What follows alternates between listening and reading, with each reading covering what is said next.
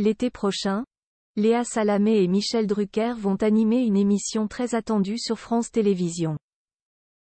Un choix qui a provoqué une certaine frustration en interne, comme l'évoque un journaliste sportif bien connu du service public. La suite après la publicité l'été prochain, France Télévisions va avoir l'honneur et le privilège de diffuser l'événement sportif le plus attendu de l'année, les Jeux Olympiques de Paris 2024.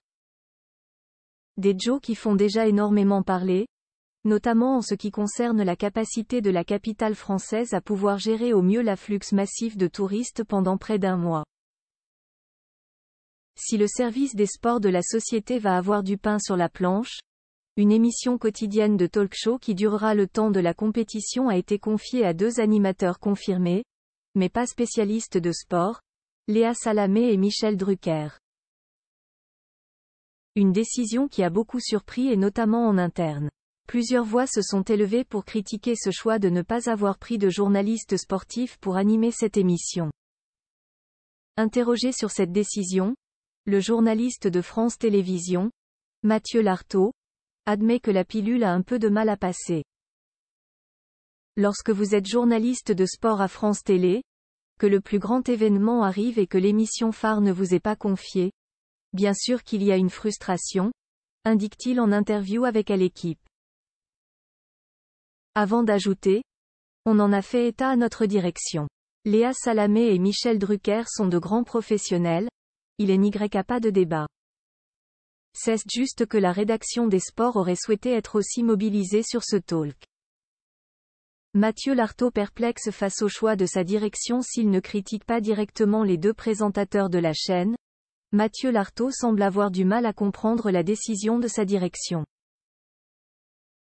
Malgré tout, celui qui dénonce une terrible injustice qui touche les personnes handicapées dans cette même interview, semble particulièrement motivé à l'idée de vivre cette année 2024, riche en actualités sportives. Après avoir vaincu un cancer au niveau du genou droit et suite à une longue rééducation, le grand copain de Fabien Galtier semble avoir déjà hâte d'y être. Comme un sportif qui reprend la compétition, il faut juste un peu de temps pour se remettre dans le rythme.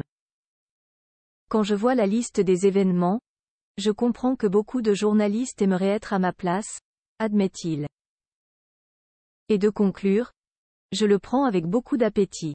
Quand on a été au garage pendant plus de six mois, on a envie de se lancer là-dedans avec passion. Déjà, en juillet 2023, cette décision a été prise comme véritable camouflet pour Laurent Luyat et les autres journalistes spécialisés dans le sport, comme l'a fait savoir l'UNSA France Télévisions. On se serait cru sur Malaise TV ce mardi 11 juillet quand le directeur des sports apprend en direct que l'émission Quel jeu, le magazine sur lequel travaille le service et la production depuis de longs mois maintenant, est en fait confié à Léa Salamé et Michel Drucker. Exit donc les visages des sports. S'insurge le syndicat de France Télévisions, avant d'ajouter un autre élément qui le perturbe. On apprend aussi que l'émission sera produite par la société de Hugo Clément.